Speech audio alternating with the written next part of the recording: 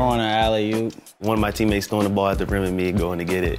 I can just throw it anywhere, top of the glass, top of the square. From a team standpoint, I like just getting up and down. When my guy helps, they kick it out to me and I shoot it. I set a nice little screen for him. I like that. You're gonna see a lot more alley-oops and you're, you're gonna see Ahmad Starks out there busting threes. Everybody's dangerous. Eric Moreland run the break, Joe Burton. The native tornado is when I, uh, my double spin. Just dish it off and I just go and dunk it. That's my little spot. Nobody see me there. I be sneaking.